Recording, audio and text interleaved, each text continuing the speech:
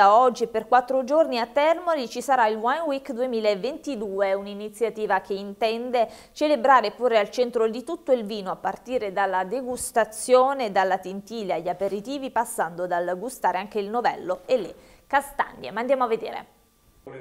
Siamo quasi pronti per scoprire quello che accadrà da qui a pochi giorni a Termoli, un, un programma in piazza, un programma eh, davvero nutrito, ma è giusto che ne parli Michele Barilla, l'assessore al ramo interessato, e vogliamo sapere da lui che cosa ci dovrà, dovremo aspettare in questi giorni. Sì, stiamo per presentare la prima edizione della Termoli Wine Week, un evento che si pone come finalità principale quello di valorizzare uno dei prodotti eh, cardini della nostra regione,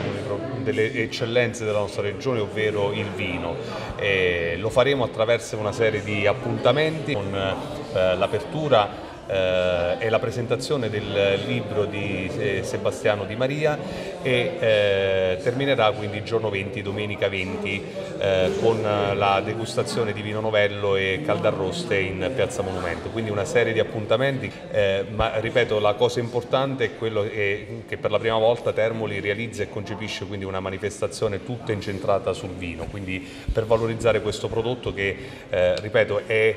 uno dei motori trainanti dell'economia della nostra nostra regione, ma eh, è sicuramente ehm,